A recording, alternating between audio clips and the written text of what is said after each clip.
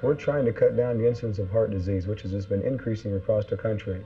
So that we figured by trying to get a man involved in a cardiovascular type of exercise program, an aerobics kind of a program, this would be one aid of eliminating many of his risk factors. And along with our consultation with our patients in the clinic, we have a chance to go over many of the risk factors. Literally, aerobics means with air or with oxygen. We're concerned more about the efficiency of the heart, lungs, and cardiovascular system. And aerobics is a word which is found in the dictionary, uh, which literally means efficiency of your cardiovascular system. Well, Dr. Cooper is the author of the book Aerobics and New Aerobics, and uh, he devised the program uh, when he was in the Air Force. But now we've adapted the program to our Dallas area uh, business executives. And uh, we're here at the Aerobics Activity Center and having a chance to watch our successful exec executives, so to speak, out and exercise before they go to work.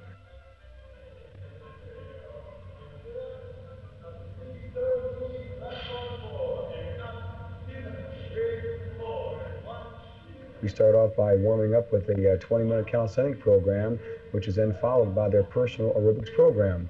And so we're trying to get their heart rates up to a level which will produce a cardiovascular effect of uh, utilizing their oxygen. And uh, so the men will go out and have a chance to walk, jog, swim, or cycle.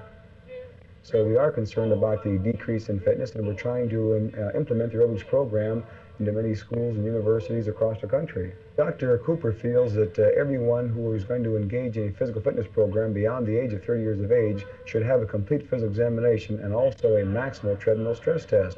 This way we can find out what his level of fitness is, then prescribe his exercise program.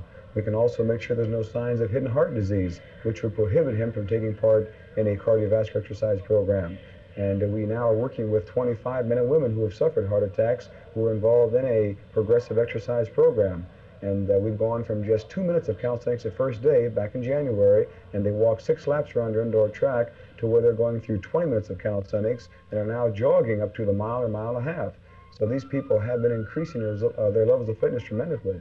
The ultimate goal for all of our members at the activity center is to try, try and have each person raise up to his highest level of fitness. But again, we're not encouraging people to go out and start jogging. We want them to have a complete physical workup and evaluation and then start off on a more or less a starter program and get into their conditioning program.